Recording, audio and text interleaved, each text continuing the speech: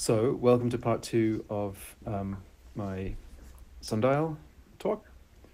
Um, the starting point today is resolving uh, an open question from last time, uh, which hopefully shouldn't take too long. Uh, and then we can, and then we're kind of done with the um, the algebra, uh, if you like, and uh, we can gaze at some, um, you know, the fruits of our labors in terms of um, plots of uh, shadow um, tip paths. Uh, in other words, um, analemma. Analemmas. I'm not sure how you pluralize that. I'm not even sure how to pronounce it. I guess I always thought it was analemma, but I have no idea now that you say it out loud. Yeah. Well, I don't even know what correct means. Um, oh yeah. Evolves and we're just, you know, we have certain accents and pronunciations. I don't know where the word comes from, but I could see how you might focus on the lemma part of Mm, the analemma mm, mm. um, word. Okay, so um, looking at the first board, we've got the final kind of diagram, and I might just do a, a, a bit of a recap um, in order to sort of uh, get us back up, up to speed. So M, M1 and M2 are both um, unit vectors, and they define. Uh, oh, Bertie's talking to the knot. I just saw some words poking behind the board. Uh, thought it might be me. Anyway, um, M1 and M2 define the face of the sundial, and we got those. Uh, we, we got that um, this frame M1, M2, M3 through a series of rotations um, from a an orthonormal uh, vector um, set, you know set of vectors basis vectors um, that are kind of fixed relative to the in quotes fixed stars right so alpha was our um, earth tilt angle right the tilt of the earth's axis um, there was um, uh, sigma um, was uh, the um, how far the, the center of the Earth is along its orbit around the Sun. Um, psi was uh, the Earth's rotation about its axis. Theta was um, like 90 minus latitude. Um, and all of those angles uh, participated in, um, uh, you know, in in uh, in creating, defining the frame M1, M2, M3, which is fixed within the sundial. I'm just going to put a T uh, on sigma and uh, psi there um, to note that they um, vary with time. Okay, so then um, S is a ray of sunshine. G is the gnomon, or uh, I think when it is parallel uh, to the Earth's axis, um, it's known as a style.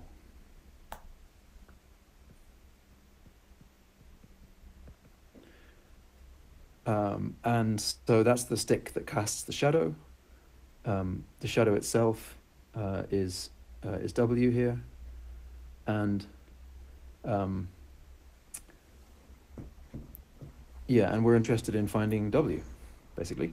Um, and you know we have a solution for that, or at least the solution that I claimed uh, last time was uh, define a uh, define the plane G as the bivector, the unit bivector M1 M2. So that's the dial face. Define the plane S um, as S wedge G, which isn't a unit bivector anymore because S dot G uh, is not equal to 1. Uh, sorry, uh, 0. Um, you know, but that is going to be um, if the angle between um, them is capital Xi, uh, then that's going to be sine uh, Xi away from capital S hat, which is a unit bivector. Um, we saw in the Metauni Festival uh, geometric algebra um, talk that I gave uh, in January um, that the that um, yeah that if uh, capital psi there is the angle between um, s and g, then s wedge g squared, which is a scalar, um, is minus sine squared. Uh, psi. Anyway, so we've got the planes, um, big G and big S. Now, if we don't care about the length um, of this vector um, the sh- of the shadow, so say there's a u with some arbitrary length, then, um, well, u is uh, is i g cross s, where this cross is the not the vector product uh, as we're used to. It's the commutator product of these two bivectors defined as just the antisymmetric geometric product. Um, and yeah, so I saw um, yeah, so we'll get to we'll get to that in a second. Um, but if that's true, um, then uh, W hat, which is a normalized unit vector um, along the shadow, is U over the length of U. And if I define W of lambda, Why is, why is that not U hat? Why is there a W and a and a U? Uh, you're, you're um, no good reason.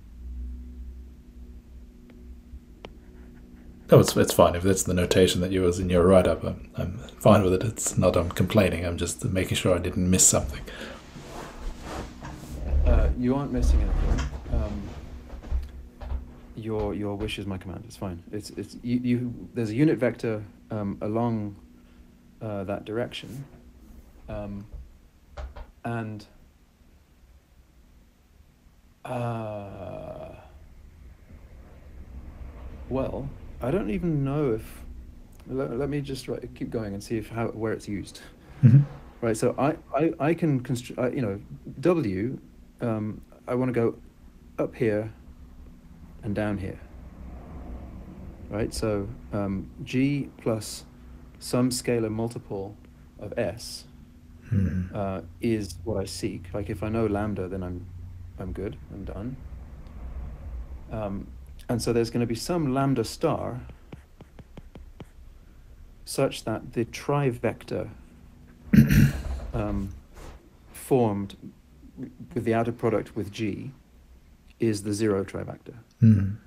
In other words, um, you know, the, think of a trivector just as a um, a bivector is is a plane. It's an oriented plane, so you know which way it's facing. Um, but you you and there's an area as well. Um, so you know the direction in space, um, the uh, and, and some magnitude. Think of a trivector as the same thing but a volume, right? So it's the, you know, it's sort of think of the parallelepiped um, defined by three vectors. And of course, if they aren't linearly independent, um, then the volume is zero. Um, one of the vectors lies in the plane uh, defined by the other two. Uh, and we want this W uh, to lie in the G plane, in the M1, M2 plane.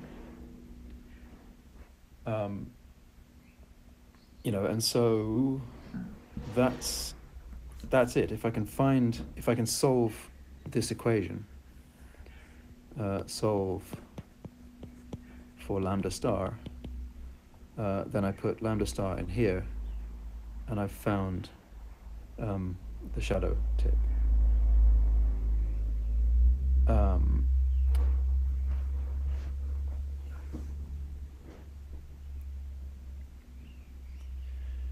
yeah, and so where I, where it went, um, where it got a bit shaky, was me claiming last time that um,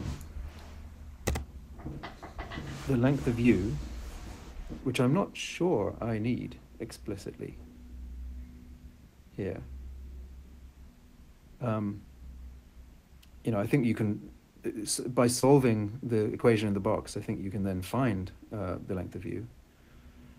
Um, I, I, claimed that the length of u uh, was um, sine of the angle between um,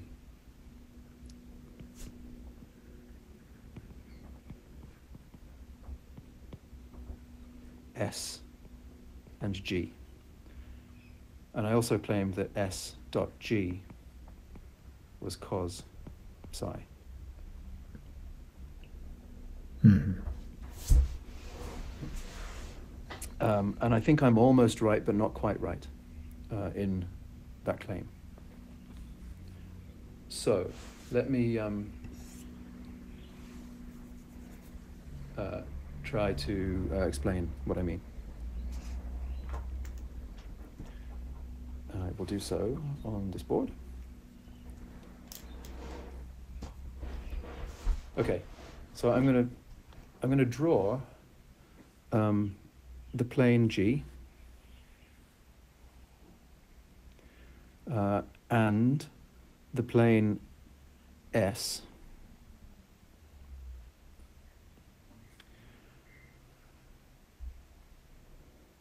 So that's G, that's S. And somewhere in G, in some arbitrary, as far as this diagram is concerned, direction, uh, uh, direction, pair of directions, we have M1 and M2. And similarly, in some arbitrary pair of directions here, I mean, M1 and M2 are orthogonal. Um, S and G here are not, but they lie in the plane S. And I want to um, use the fact that I don't, you know, I, I can um, I can use any. Uh, I don't need, need I don't need to use M1 and M2 to define the plane G. I can use any other um, ortho ortho uh, orthonormal um, vectors in that plane um, such as, uh, well, if the planes aren't parallel, there's going to be a vector, a unit vector running along their intersection here, which um, I'll call W hat, but U hat would do also. All right, and that um, that is the shadow because uh, you know, like the, if you like, the physical content of this whole problem, um, such as it is, is that, you know, um, I'm just going to hop back to the uh, previous board, the plane containing both the sunshine vector and the gnomon, you know, that when that intersects with the uh, dial face, well, that, that is the shadow. That's kind of what we mean uh, by the shadow. So there will be, uh, you know, as long as um, uh, there isn't, I mean, tautology. Apologies, but you know I mean. There- there's- As, as long as the plane of the Earth is not like, uh, what what would it take for these two to be parallel? Um, yeah, well, I mean that can happen. Uh, you need a pretty special. I mean, isn't that um, sunset? Oh no, well, not even that. Because then, like, if I'm looking along the surface of the dial right. at the sun, and so the sun ray is skimming the surface, well, there's still an intersection between. Like, I've got my gnomon now sticking up. Mm-hmm. Um, the, the shadow gets pretty long, maybe infinitely long, but um, it's still Mm-hmm. there is still this intersection. So I think it's pretty, I don't know, maybe hard to find those conditions. Anyway, I want to draw a unit vector, let's say A, and another unit vector, let's say B, such that, well, A squared, B squared, W hat squared over 1, and A dot W hat uh, is 0. And also uh, B dot W hat is 0.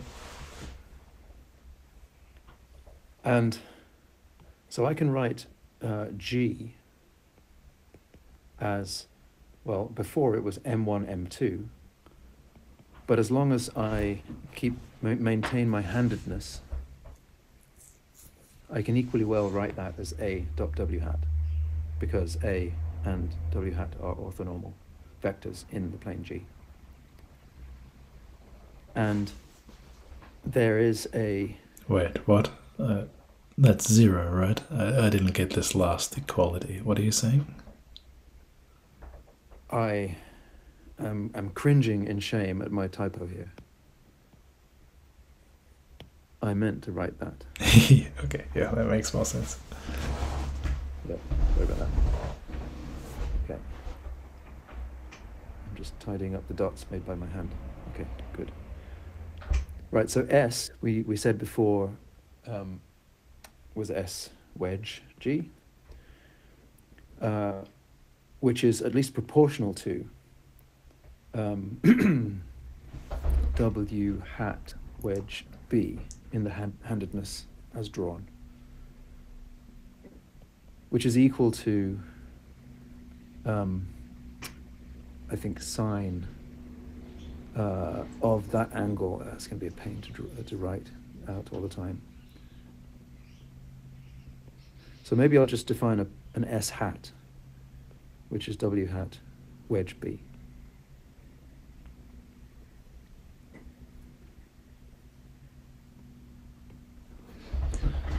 Okay, so now, um, now that we've got the planes expressed in a convenient basis, let's evaluate um, the commutator product between the two.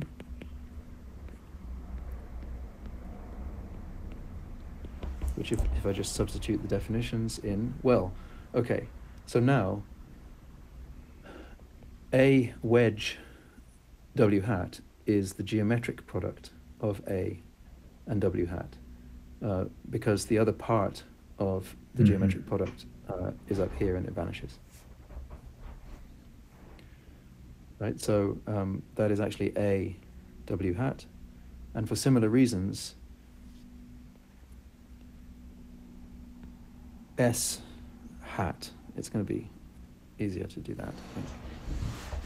Looks like that, um, and the uh, second term is that. Right, so we, we have that w hat squared is is one. Um, and because all of these vectors are orthogonal, I introduce a minus sign when I flip that order, um, another minus sign when I flip that order, and so these go away. Hmm. And so this is a half of a b minus ba, which is a wedge b, which we know is is that plane containing A and B,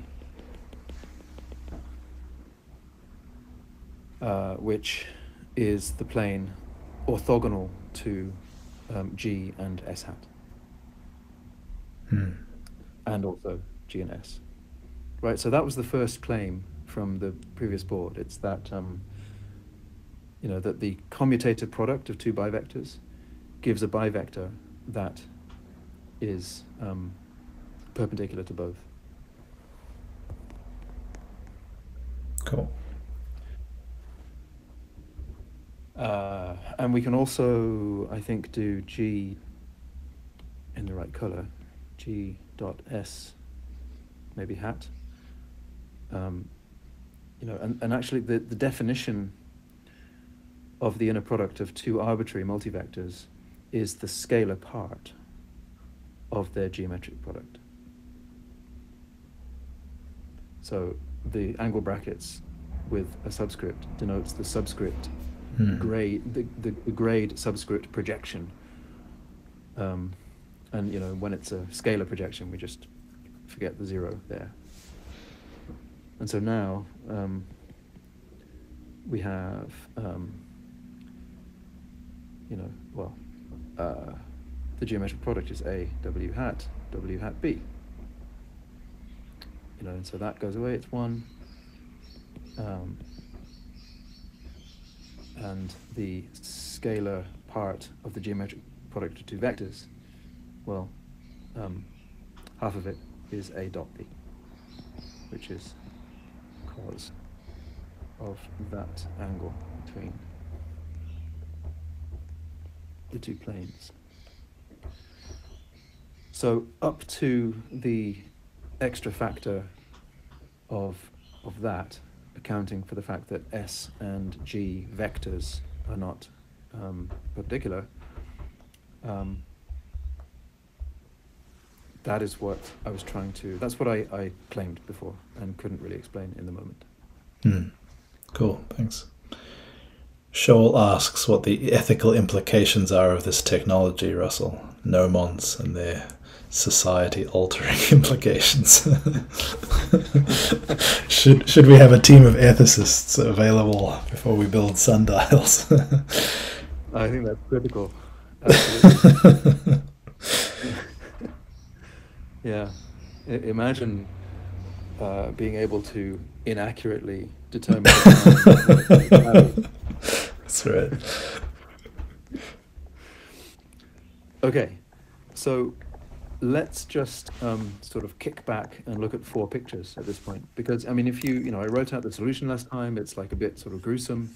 Um, there's a lot there, but um, it is just a machine that lets you plot um, various pictures. There is a an equation of time part um, to the story, which I think should be next. And that's the name of the next um, picture. All right.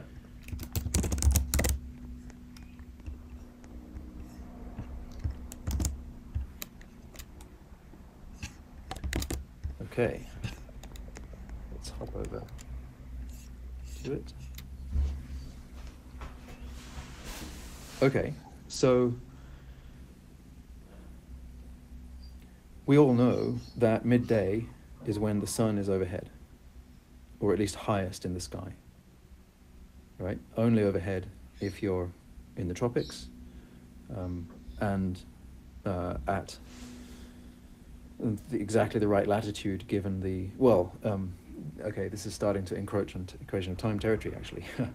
Uh, exactly at the right latitude um, you know to see it perfectly overhead but if it, to, to, to hit the sun to see the sun at its highest uh, point in its trajectory through the sky we know that that's noon right? Thumbs up. Except it's not quite um, this the black line on this graph uh, gives you the number of minutes by which it isn't exactly noon, depending on where the Earth is in its orbit around the Sun. Hmm. If the orbit around the Sun was perfectly circular, and if there was no tilt in the Earth's axis, then um, it would be closer to being true, right? These lines would be flat. You've still got a minor issue that um, you've, uh, by the time the Earth has spun um, 360 degrees, it's moved along its orbit, right? And so the direction, it needs to rotate like one 365th extra to actually um, get back to uh, the same direction, like your overhead direction, looking precisely at the sun. Um, but ignoring that, um, if you remove the uh, elliptical, the, the, if you set the eccentricity of the elliptical orbit of the Earth around the Sun to zero, in other words, the orbit becomes a circle, and if you um, remove the tilt of the Earth's uh, axis of rotation relative to the plane of the orbit, then uh, both all these curves become flat. Hmm.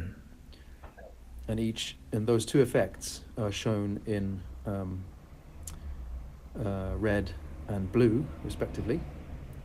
Um, and you add them together to get the black. And this, this is what um, gives rise to the gnomon. Uh, sorry, to the uh, anam, uh, analam. Oh God. The. Let's see how many pronunciations we can do. the, the, yeah, the, uh, well, there's a, there is okay. So I almost went to a certain pronunciation that might um, uh, not have not been not be wise. So let's call it an analemma. Um, anyway, so the the shape of the analemma, um, you can sort of map it to this. I think right. There's a Mm. uh, it's a figure of eight um, type shape, um, and so one sort of oscillation up and down comes from the red, uh, and then the the side to side two oscillations side to side come from the blue. So let's let's go to that. Let's look at uh, what's next. The horizontal dial figure. Cool.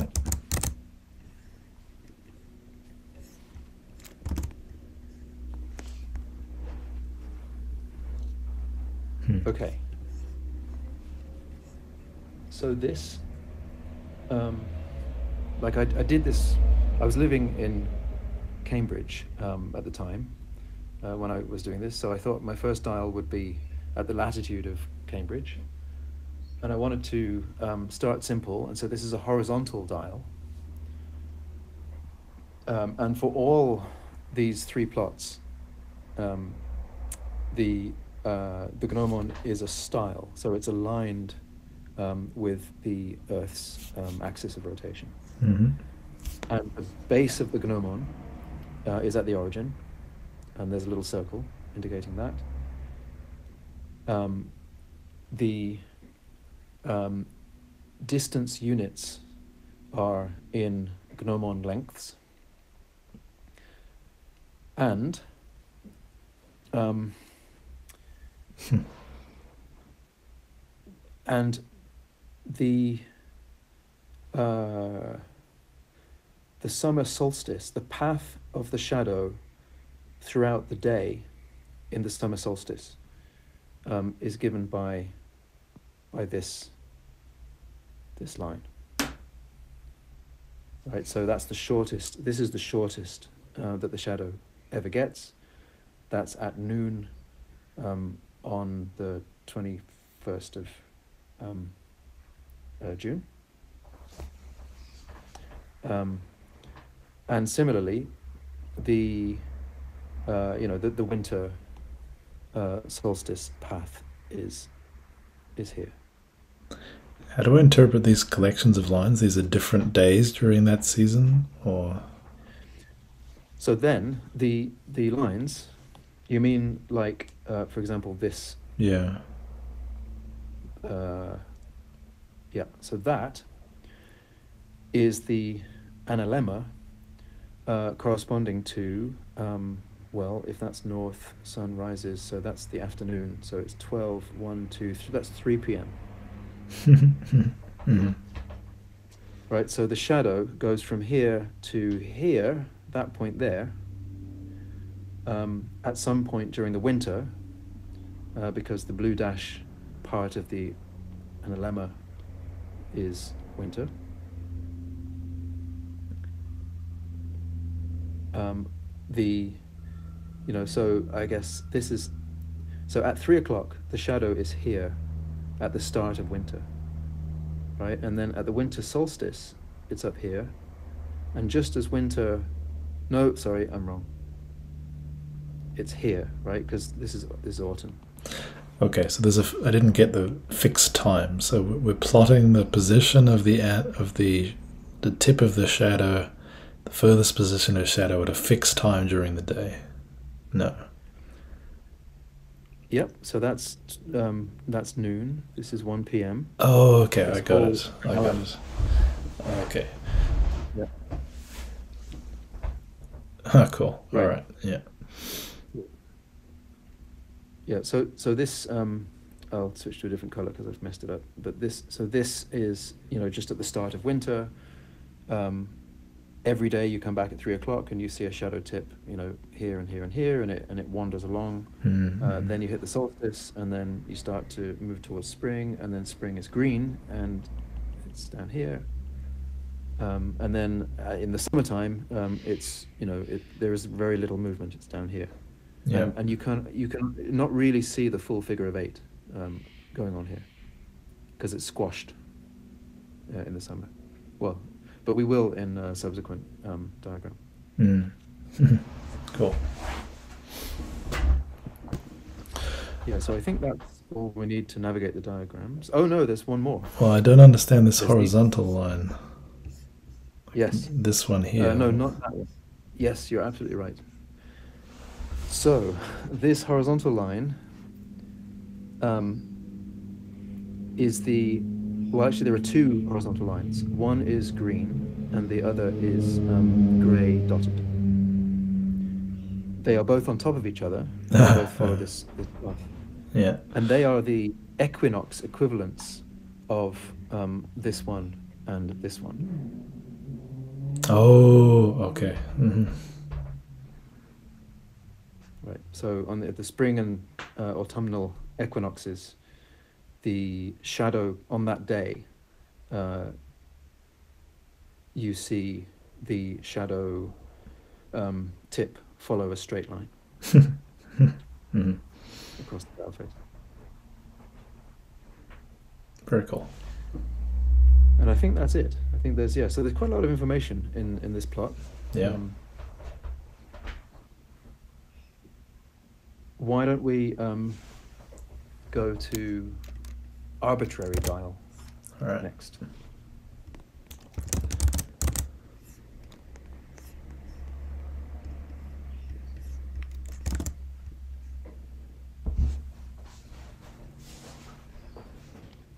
Okay. So, if you don't mind a little digression, I first saw the term analemma not in a scientific text, but in uh, Neal Stephenson's book Anathem. I don't know if you know it. It's a big, chunky book about an alternative universe in which uh, mathematicians and physicists and such people are locked up in sort of monasteries to keep them from disturbing the peace. Um, and then at some point they they're needed to combat something like an alien invasion. I won't spoil it by saying more than that. Um, and one of the main characters is kind of at their they're about to get wiped out by some attack, and as a sort of statement of their deep faith in the mathematical structure of reality, they they carve an analemma into the the floor beneath them as like a a culmination of their understanding of the principles of reality or something. Uh, so, um, I guess it's a preface to a question, which is why is the analemma particularly?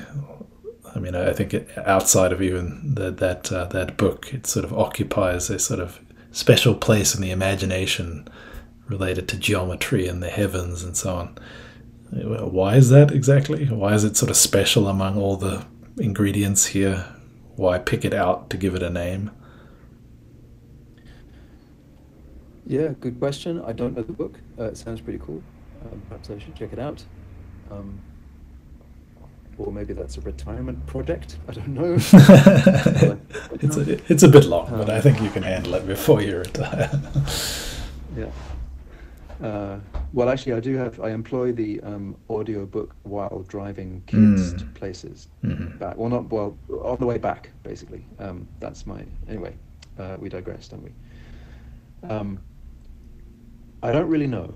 Uh, I, I think it is kind of fundamental in that it's orthogonal in a sense to um, the four lines uh, that we discussed, right? The um, the solstice shadow path during the day, um, summer solstice, the winter solstice, uh, and then the equinoxes. Right? You um, you you you fix the day, and you let the time in the day vary, and you get those lines, and so they're sort of easiest to to observe. Mm. But if you transpose that and you fix the time of day, and then let the day vary over the year, well, then you see that other shape. Mm. Um, and it's a kind of a cool shape because it's a figure of eight. And so why? Yeah, Um, yeah. It's so simple, and yet there's enough complexity in there to really trigger the mind into inquiring, you know, what's going on. I think. Yeah, So that sounds right. it, yeah. Yeah, maybe it's maybe it's as you say, partly because it's not it's not trivial to observe it. You have to keep some records, and then you infer it, and then you're like, oh my god, there's a very interesting structure here. Yeah. Hmm. Exactly. You can photograph it, right? There are pictures on on the internet of um, someone. If you put a camera facing up, uh, and then at the same time every day take a picture, Mm, mm. and then superimpose uh, superpose all the pictures, then you get an analemma drawn by the sun, Mm. which was also kind of nice. So um, I went a bit, um, you know, arbitrary here. We are 10 degrees south of the equator.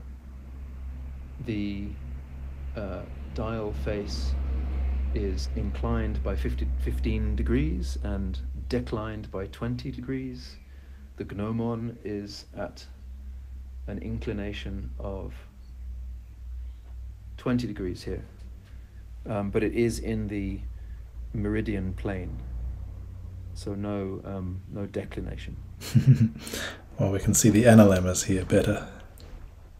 Yeah, exactly. So you're seeing some really nice, um, you know, like that one is a very Mm. clear uh, figure of eight. yeah. And then as a final um, kind of uh, check, I suppose, of these results against intuition, uh, we could look at uh, an Arctic sundial. Coming up. I mean, I, I wonder whether there is such a thing in real life. yeah, maybe nobody's ever put a sundial in the Arctic. Well, there's a re- there's a real retirement project for you, Russell. Indeed. That's oh, right. oh wow, that's really interesting. You know, so, um, so winter was the blue um, dashed line, right? And clearly, there's no, um, there's no, there's no winter. I mean, sorry, there's no winter in the Arctic. Uh, that's not quite right, but you know what I mean. There's, there's no, um, your, your, there's no sun uh, to, um, you know, operate the dial um, in the uh, in the winter uh, and you can see how um, you know. So there is the uh, um, I don't know fulcrum, the center point of the figure of eight, analemma. Um, you know, it com- it loops in here and comes back out and then shoots off to very far away. Interestingly, you know, still in the equinoxes, you get this straight line. Um, uh, uh, both in the spring and the autumn equinox, uh, the same straight straight line, uh, just at some sort of arbitrary uh, direction. What do I have? I'm at 80 degrees north latitude. I've declined the um, sundial by 30 degrees. Um, Oh, and the gnomon. I, I wrote in my in the caption on this figure in the paper. The gnomon here is a true gnomon, being vertical, with zero inclination. And I forgot that. I think I read somewhere um, that yeah that for a gnomon to be a real one, it's got to be sticking straight up. Hmm. And so clearly you can get very long uh, shadows. Um, so the analemmas uh, shoot off very far away. Um, and the summer solstice uh, shadow tip travels in in a nice um, loop, ellipse, maybe. I don't know actually what the precise shape is. Yeah, that's interesting.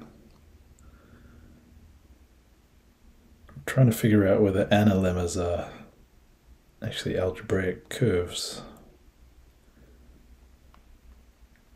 Like, are they defined by polynomials? Maybe. I mean, the equations you gave are kind of analytic, right? They involve trigonometric functions, but do you know if there's a, a polynomial equation whose solution is the analemma? Seems like they're related to.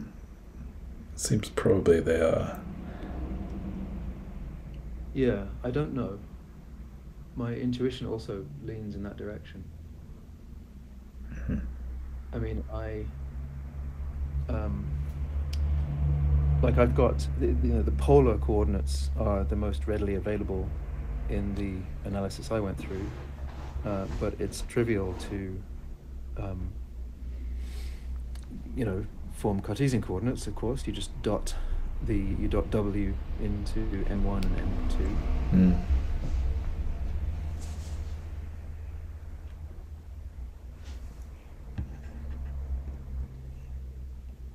Yeah, it's a good question. I, I actually didn't really appreciate the significance and implications of um, algebraic curves 20 years ago when I was doing this. It's only um, exposure to you guys, to you, you, you people. Mm. Yeah, it's a fun question for some other time. Indeed. So, that's that's it. I think. Awesome. This was this was a blast. Thanks, Russell. I'm really glad. Well, first of all, that you wrote this ages ago and that you uh, took the time to present it. I enjoyed this a lot. Uh, you're very welcome. It was nice to dig it all out Hmm. again. You can see why it had such an impact on on people. This kind of thing uh, back when it was. Well, of course, some of this is, is very recent or, or new entirely, but the sort of basic the basic program of trying to figure out the explanation for this strange regular geometry in the heavens um, yeah doesn't doesn't lose its appeal thousands of years later Absolutely. I mean, I can't help but think of the birth of modern science, you know, with Galileo and Copernicus and all that. And sundials, uh, knowledge of them predated um, them by so much time, you know, centuries and centuries. But I suppose you don't need, you know, you can be, you can um, sort of algorithmically like use the observed kind of geometry to do something useful without really having having an explanation Hmm. Um, or, or with multiple different you know you can have a bad explanation like a um, you know geocentric um, view of the universe uh, and still um, kind of do sundials and use sundials. So maybe it's not that crazy but uh, it's not that crazy that you know my thought was how could it take so long to challenge you know the um, kind of prevailing uh, model of the universe given the evidence by sundials Hmm, hmm, hmm. so I should have explained that that's what I was sort of uh, riffing on um, out loud just then and, and so but anyway and I guess my answer would be that you know there's a difference between um, like I, I guess it's sort of instrumentalism versus uh, explanation. Right? You can you can use a, a theory, a sundial. You can use the geometry, the mathematics to do something useful and make predictions even without um, having a really good explanation um, for how it arises. Hmm.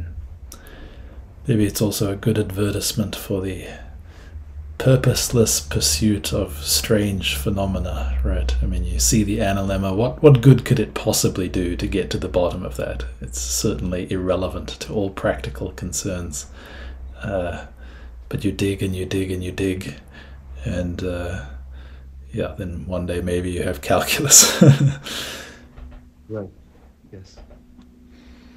All right. Um, yeah, thanks a lot, Russell. Any questions, Chad? Any closing thoughts on this sequence? Thumbs up. Very good. Thumbs up. All right. All right. Cool. Thank you.